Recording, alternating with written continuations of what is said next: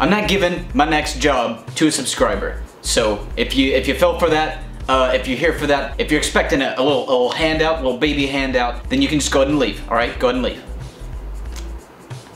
Uh, this video is about the. this video is just about the power of the words "what if," mainly dealing with uh, storytelling. So we're just here we go. Here we go. We're going. So basically, when I'm when I'm uh, storytelling, when I'm drawing, when I'm painting, I'm whatever I'm creating the story, I'm using the words "what if" a lot. Okay, here's the problem. A lot of stories suffer when it comes to two things: simplicity and fresh ideas. By using the words "what if," I can kind of clear up some of that stuff. Okay, so this can literally be applied to anything that's uh, music, martial arts, or cooking, or anything like that. I'm just gonna use this uh, still frame shot as an example. Okay, so when I'm using, when I'm doing these shots, I'm or even when I'm doing boards, I'm asking myself the simple question, what if? What if I can tell this character's story in exactly one single image? That's a really big what if. Okay, so at first this sounds super easy, and it really is depending on what kind of uh, story you want to tell. I'll get to that in a second. Alright, so uh, here's the point of all this. There are tons of ways to do things, obviously. There are very complicated ways, very detailed ways, very abstract ways,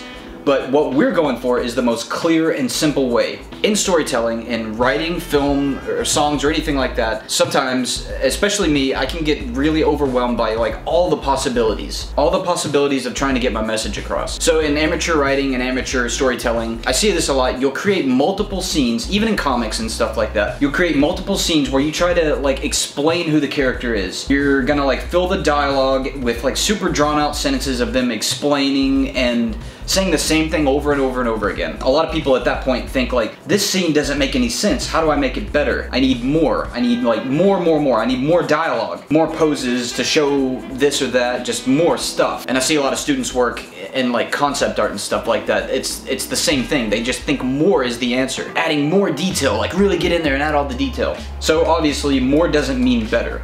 We're gonna go for quality over quantity. Okay, so for me, it's simple. I use the same mindset as in like writing or comedy. There is like a setup and a punchline. So you can't just walk up on stage and say the punchline, right? You have to make the audience want more first with the setup. So I don't even have to know like the punchline or the story. I just have to have an interesting question. Also in writing, it's called promise and payoff. It can also be called clickbait. It's something that just makes you say, what? You know, and you watched it till the end, and then often there's no payoff. That's a, that's called bad writing with the no payoff. Anyway, what we're essentially what we're doing right here is using the words "what if" to make interesting clickbait. That's that's what I'm doing essentially. Okay, like I said before, the problem was a lot of stories suffer from when it comes to simplicity and fresh ideas. Let's go over fresh ideas.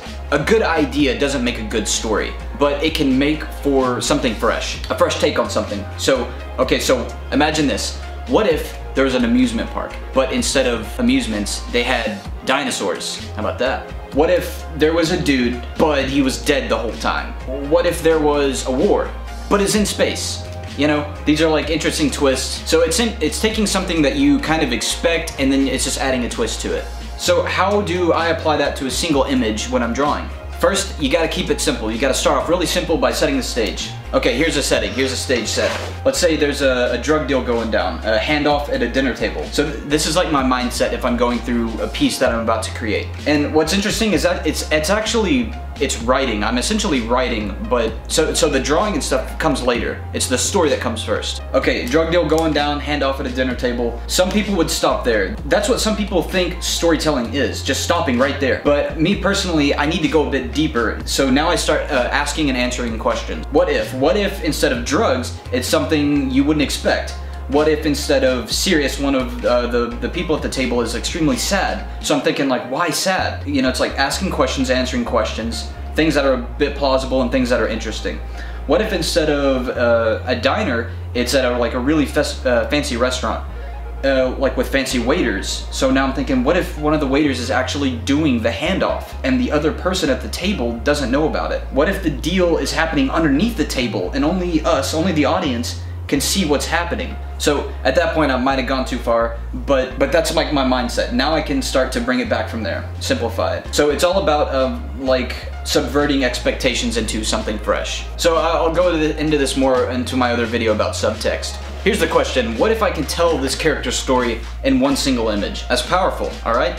Through a uh, simple, subtle look in the eye through a, a, a placement of the hand. Not even a single word spoken. Could you imagine the impact of that? As opposed to a scene with filled with like extremely chaotic shots and the cameras everywhere and the dialogue is just never ending. So obviously, this is pretty tough. It requires thinking, which is really lost in a lot of uh, media these days. And to that I say, uh, make yourself think, make your audience think.